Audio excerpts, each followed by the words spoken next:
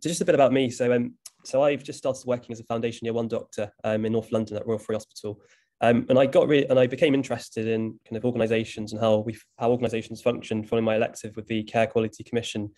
And I think really from my experience so far as an F1, I've really realised that kind of the day-to-day experience of the job is, is really dependent on the people we work with and how colleagues interact and treat each other.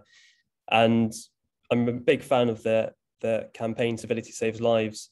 Um, you know, I think our interactions day to day they have such a big impact, and we can really make each other feel valued and you know and improve the working environment.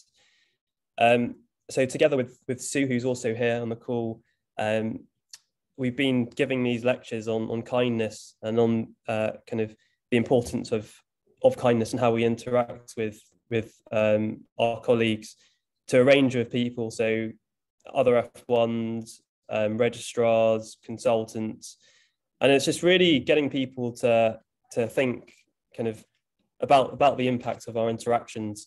You know, we all we all know that we we live in a we, we work in a really overstretched system, but small things like taking the time and being kind to each other can really have such a big impact.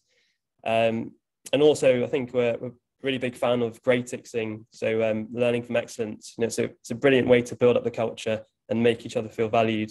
Uh, so I'll just pass over to Sue actually, if that's just for just for a minute of my time, just to introduce herself as well, because I very much see us as a as a duo act, and uh, Sue is a, so much to offer.